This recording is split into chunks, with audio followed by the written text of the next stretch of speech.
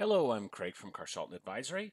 This tutorial series covers the Excel 2019 Expert Curriculum. Download Microsoft's files linked in the description to work through them together as we continue section 2.2, Format and Validate Data. Let's get started. So with this section of practice tasks, we're going to spend a lot of time on data validation.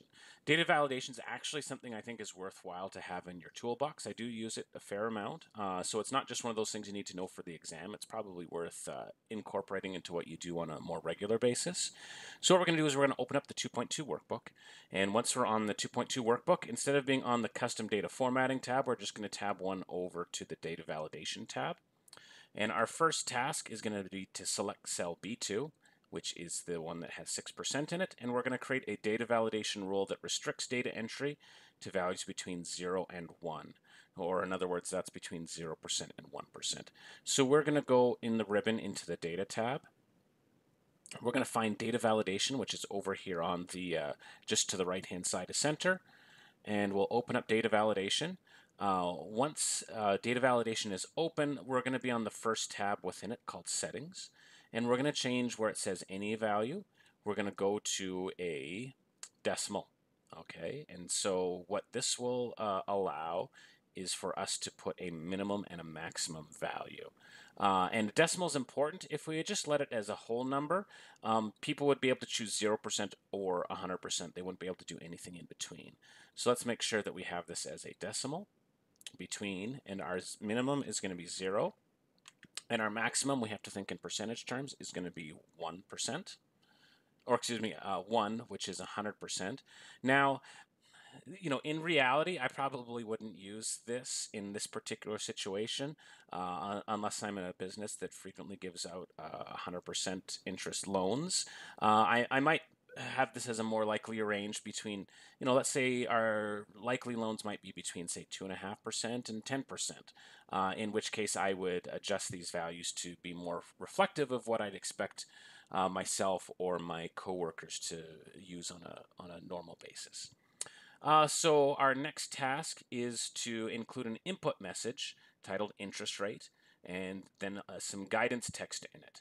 Uh, so now what we'll do is we'll we'll click to the right here onto input message and it's we're going to leave this toggle to show input message when cell is selected and we can have a title here. So our title is going to be interest rate. And this is one of those things, a lot of people have used data validation, but they're not as familiar with the input message or the error alert side of it. So that's one, one thing that uh, a lot of you may be picking up. So in our message, we're going to put, uh, please enter a value between uh, 0 and 1. Uh, and again, I don't know if I'd have 0 and 1. I would probably have a percent. But uh, anyways, uh, next we're going to go to the stop style message and uh, or excuse me in the error alert section and we're going to have a stop style message so there could be a warning there could be an information and it'll it'll note the uh, uh, the icon that comes with it. So this is what will happen if the person puts in the wrong type of data. So if they put in a 3 or a minus 2, this would pop up for them. So the title is going to be invalid interest rate.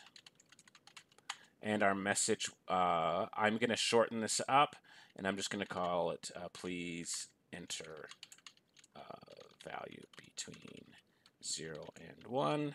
Now on the exam make sure you put in exactly what they have. Usually what I would do on the exam, I would actually select the text that they wanted, copy it, and then paste it in. That way I could be sure that I, I had it exactly the way they wanted.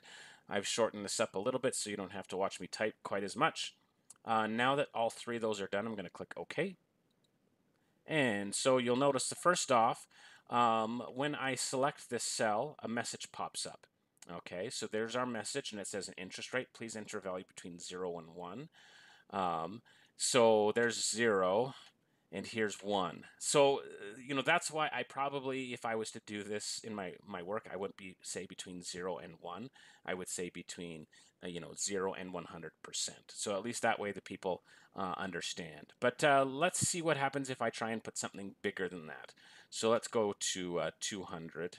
Uh, because it's a percent. And so here is my stop message that we had put up and, and that we had set up and it says please enter a value between 0 and 1. So I can select retry and now I can try uh, minus 1.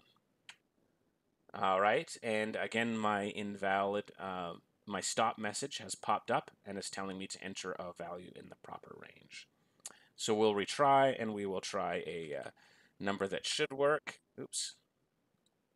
All right, so let's try, uh, let's see, now 50% will work now. Anyways, uh, so this is the, uh, this wraps up this set of practice tasks. All right, next, uh, what we're going to do is go into cell B3, which is this uh, corresponds with this periods in years. And we're going to include an input message. Uh, um, we're going to create a data validation rule that restricts data entry to positive values with a minimum of 1 and a maximum of 30. Uh, so this time I'm going to use my keyboard, which is normally how I would do it. I would hit Alt, A for data, and V for validation. Second V opens up the message box here. Our settings, um, we're going to Alt A to allow, um, instead of any value, uh, what we want is whole numbers. Now, the, uh, the textbook isn't great here in that it doesn't specify whether they need to be whole numbers or not. Like you could have a five and a half year uh, loan. Like there's there's really no reason, in my opinion, why you wouldn't have uh, decimals here.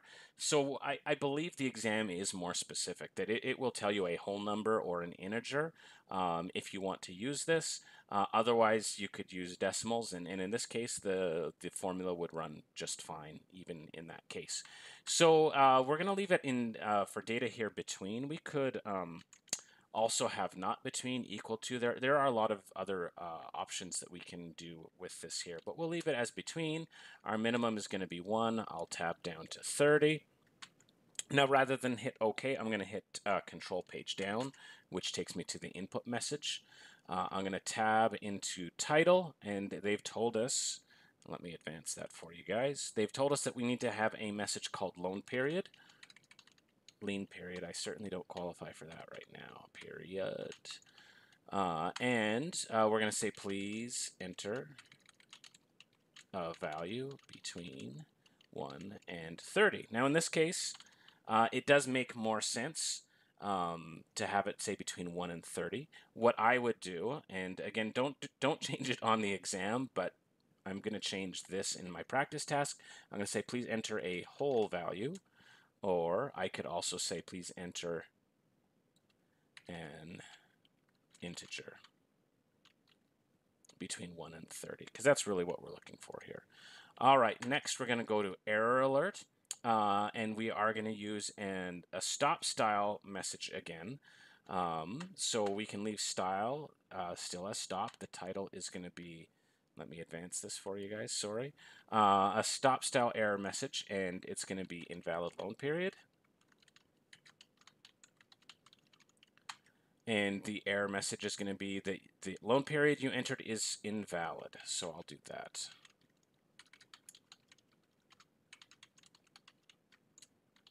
All right, and I will leave it at that. Uh, again, on the exam, I would just copy and paste the value in here so I know I didn't miss anything. Uh, I'll hit OK here. And so, yeah, when we click on this, you're going to see this uh, input message. So now it says, please enter an integer between 1 and 30. So let's check this out and see if it works. So here's our 1, and that works. Let's try 30, that works. Let's try 31. And here is our invalid loan period message box, uh, where it tells us the loan period we entered is invalued. So we'll retry. I'll try one and a half. And again, it doesn't allow that decimal. So let's retry it again here. We'll do 2, and we know that everything works here. Now the next thing we're going to do is go into cell B4, uh, which corresponds with principal here. Now the practice exams are really thorough with, with these particular types of uh, data validation, but they don't show everything, and I'll explain a little bit more here as we go into it. So let's go Alt uh, A for my data tab, V for validation, and a second To bring up this message box.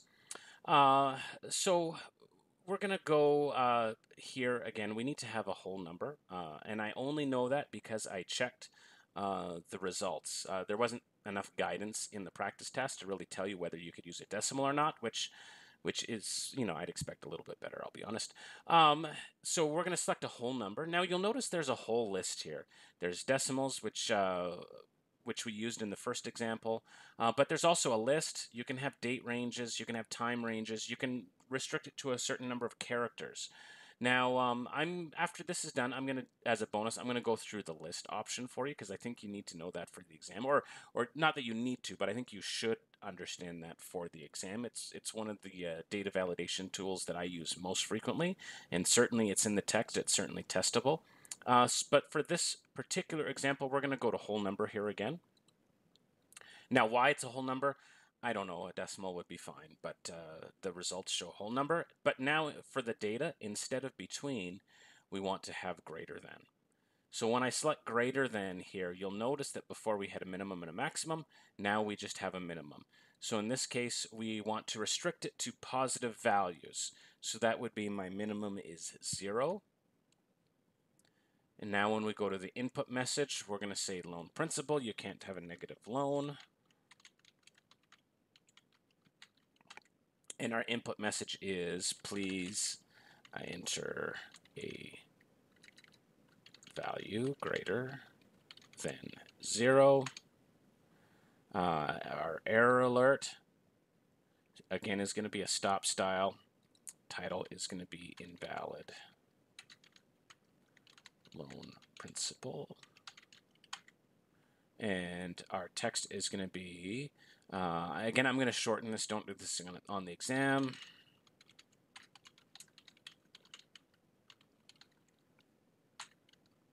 All right, we'll click OK here. And there's our input text uh, message.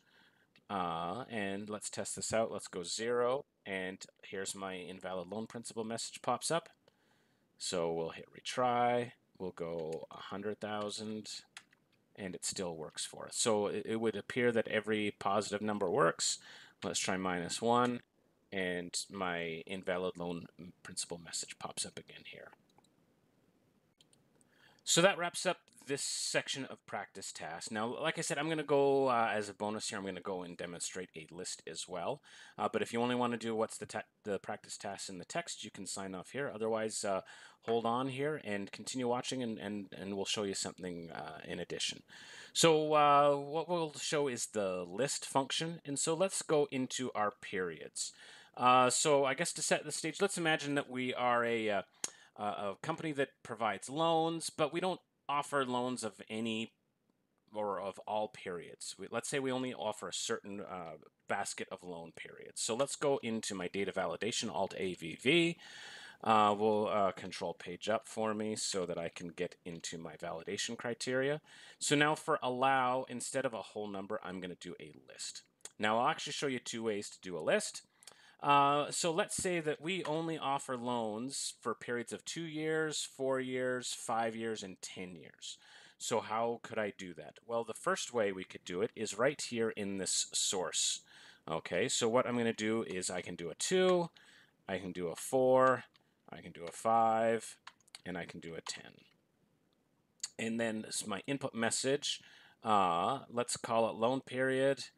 Uh, let's go please select a loan period. Uh, error alert, and we don't have to worry so much about an error alert because um, there's a drop-down box, but uh, we can leave this here, and I'll show you why in a second. So again, these are our loan periods. Uh, you could use any loan period that you want, but as a demonstration here, let's click OK. All right, so now when we go into this period, you'll notice there is a drop-down arrow box. Uh, so our message still is the same. Please select a loan period. Now what happens, I click this drop down arrow and there is a drop down list of the available loan periods. So again, my, this company, we don't offer one year loans. We don't offer seven year loans. These are the loans that we offer. I can now make sure that any of my employees or coworkers who are using this sheet are only going to select a valid loan period uh, for my protection, for their protection. So this can be a very handy tool. So let's go to five here and uh, sure enough, it still works. Uh, let's try one of our other years too. So now our payment's a lot higher. Uh, and 10. All right, so that's we know that that works. Uh, now, what happens if I try and type into this cell? Let's say I want to add 25 year, and now is when my invalid loan period message box pops up. So that's still still uh, worth having right now. So we'll click retry. Cancel. Let me put a valid number. So there's my 10. I'll go back to 2. All right, so the second way I would do a list is, um, in, well, let's uh, let's do our list range here. So let's go uh, loan periods. All right, and so now what I'm going to do is within Excel here, I'm going to type my valid loan periods. Two, what did I have before? Two, four, five. Let's add a 10 here, and we'll go 15. We'll go a little bit further. Now here's my extra trick here. Um, I do what's called a stretch row. And so what I'm going to do is I'm going to make a skinny row here. I'm going to do that by going Alt-H-O-H, which allows me to set my row height. I usually set it at 5, but that's arbitrary. That's just what works for me. I also color it, uh, which is going to be Alt-H and H, and then I use this dark gray color. And so that doesn't really mean anything except to me as a user because when I see that, I know that, oh, okay, this is a stretch row. And what is a stretch row? Well, let me demonstrate. Let's go back into periods here. We're going to go Alt A, A, excuse me, Alt A, V, V. And now for my, in my list, instead of this source being these values that I've typed in, uh, what I'm going to do is I'm actually going to select these cells and then what I'm going to do is I'm going to go one more into that stretch row. So I have uh, everything down to row 18 it shows here. Now I'm going to go OK. It's showing in my source that that is the range. And I'm going to click OK. And so now when we go to this drop-down box, it shows the values 2, 4, 5, 10, and 15, just like I had down there. You'll notice this space there, and that's because of the stretch row. Now that will allow someone to have a blank value in here.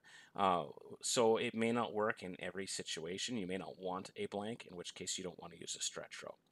Now, normally I wouldn't have this uh, right on the same tab as my loan payment analysis is where the calculations are just because of clutter. So usually I put this on a, I'd usually have a tab at the back of my workbook which would have all of these types of ranges on it for me. You could even hide that workbook if you didn't want anyone to adjust it.